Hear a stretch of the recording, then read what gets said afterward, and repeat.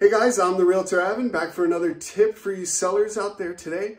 And I wanted to talk about how important it is, especially in this market, to use multiple offer counter offers. So if you're getting counter offers from multiple people, the best way for you to increase your per, the purchase price you're getting on the home, as well as improve the terms that you're getting, is to do a multiple counter offer, which means you counter all or some of the offers that you've received back. If you got 20 offers, you don't have to counter all 20 back. You can counter the best five.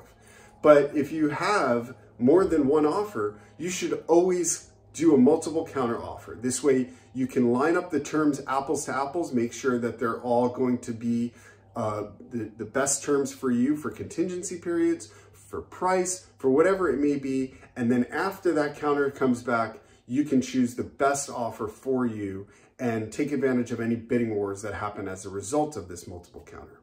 So definitely take advantage of that tip and I hope it results in a bigger profit margin for you. I'm the Realtor Evan and I'll see you next time.